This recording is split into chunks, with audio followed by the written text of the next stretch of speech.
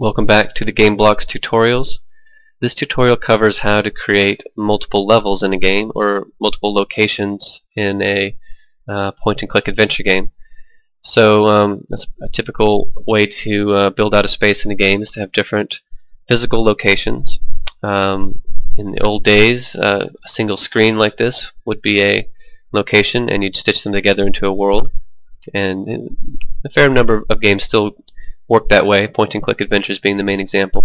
So this will show um, how to stitch those things together. So basically we need to start out by creating the concept of a location. And the basis for that really is the stage here where you have a background. You've got a series of backgrounds, one for each location. We're going to do some, some, some hills and uh, inside a cave. Uh, I know my art's not great, but so the idea is at the start of the game, just like you position a character where they start in level 1, you want to make sure that you're showing the background for level 1.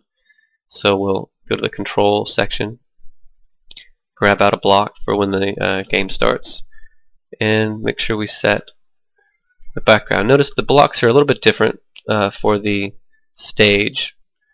Uh, we have something to switch the background explicitly, and we'll set it to background 1. That's what we're looking at right now. So that's where we start. Um, so to go to a new location, we're just going to cut to the chase and not really code the character. We're going to build a cave sprite. So we build a cave, uh, clickable cave in this view so we can transition to the next view. So we do that by creating a new sprite. And we'll do it very simply. Make sure we're doing black. Drawing something. There we are. This might be a big cave. Let's see. Let's fill it in. Okay. So there we go. And we can put it wherever we want to. And what we want to do is when it's clicked on, we'll change levels. So it's pretty easy to grab that event. We go to Control, grab when I am clicked on, and when I'm clicked on, the main thing we'll do, and you know this is in the old days before um, the GameBlocks library was very mature, what you'd have to do is just broadcast an event into the whole game. You'd say broadcast level 2, whatever it might be, location 2, whatever it is. And what that does, it tells everything in the world it's time for level 2. And anybody that cares about that, um, typically that would be sprites in level 1 would care because they know they have to disappear. Or the stage might care because it knows it needs to change the background it would listen for that event. And so we'll go through that old process. We should only have to do it for the stage. Um, but you can catch that event anywhere if you want to be doing other logic when the level transitions. So the stage cares that we're going to level 2. It will wait for that event and change the background. So waiting for the blocks to come up. So basically when it catches the, use this hat block here to catch the event. When I receive level 2, it's already set right, we're going to change the background. So right click, duplicate, keep this easy. We'll change to background 2. Naturally, we'd want to have another command for changing back to level 1 if you come back out, but we won't worry about that right now. So there's the first part of changing levels. Um, now the other part, and this is where the blocks come to be useful, um, you want to tell sprites to um, either show themselves or hide themselves based on where we are. So we'll we can use some specialized blocks. Actually, you know what? I'm going to show you first. Um, the generic way with the game blocks library would be to use these blocks here, which say launch on sprites. For instance, you can tell multiple sprites to hide, or run on sprites could work. You'd want to use launch on sprites to make them all disappear at one time. Uh, but there's a, a, cleaner command. There's just a few specialized commands that um, are in the library for doing tasks that happen a lot. So you can use this hide sprites, and it takes the same argument. Um, I'll walk through it for those who haven't watched the other tutorial. Um, you got to grab a list bubble from here. This will let you create a list. You need to pass in a list of the names of the sprites that need to disappear. We will start by, uh, we have nothing to make disappear. Uh, let's go ahead and make some junk in the world. Let's say we had a tree out here in front. Oh, that's a terrible tree. Okay, there we go. Let's look like a tree. Okay, so we had a tree.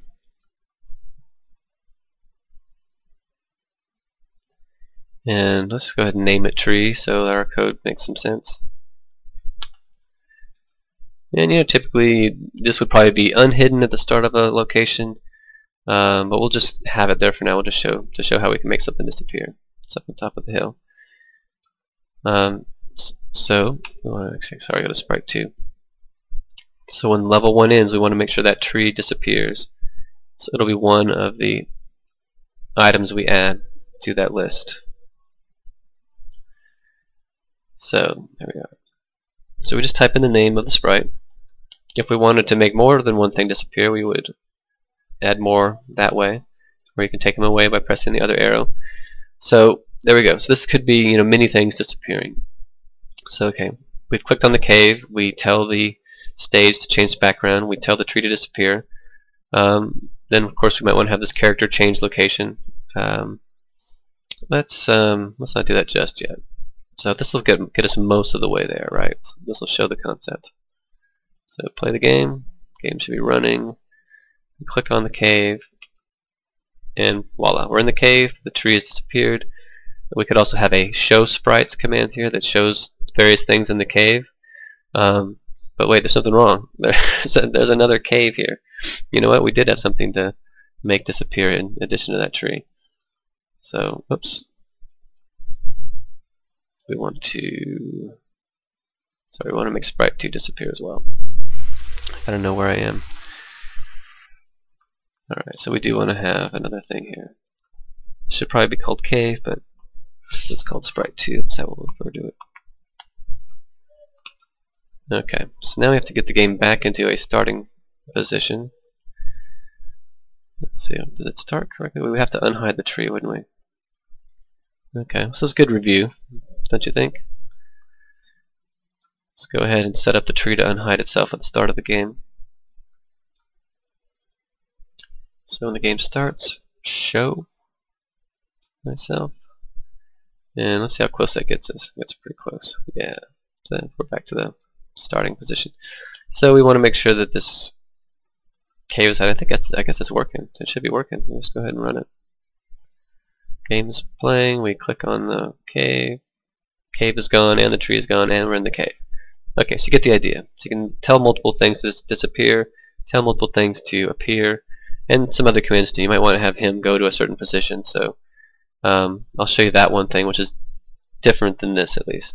Showing things is the same as this, but with the show sprites command. So to have him go somewhere, we would then do what we did in the cutscene tutorial. And you can uh, you could use this tell sprite in this case, but I'm going to stay consistent and just use this launch uh, use this launch command just to make it explicit what we're doing. We're going to launch this command. We're not really going to wait for it to end, but we, we, we know we want the other sprite to um, do something. So again, to, to reference a sprite, when you see this symbol, you need to use this object bubble and pull down the name of the sprite. We're going to tell sprite1, which is the player, to go to another location.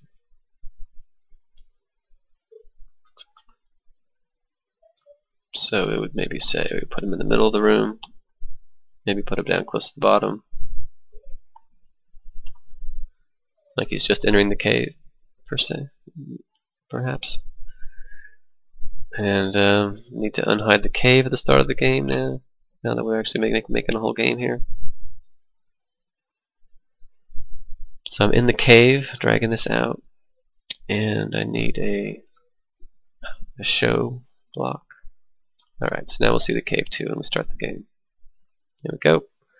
Click on the cave, we're inside, and then he's repositioned. So, it begins to feel like you're moving between two locations. Uh, just for review, um, to change levels, catch a click event on something, or whatever your event might be. It might be this character bumping into something send an event to the universe to let everybody know to change their state based on level 2. Probably you only have to catch that in the stage, though you may want to catch it elsewhere. But you're only strictly required to catch it in the, in the stage. Stage changes the background. We don't have that code here, but that, that happens off screen. Then we hide the sprites that need to disappear from level 1, uh, show whatever sprites need to appear for level 2, and then you can talk to a specific sprite like the player and move him where he needs to be. So that concludes the levels tutorial.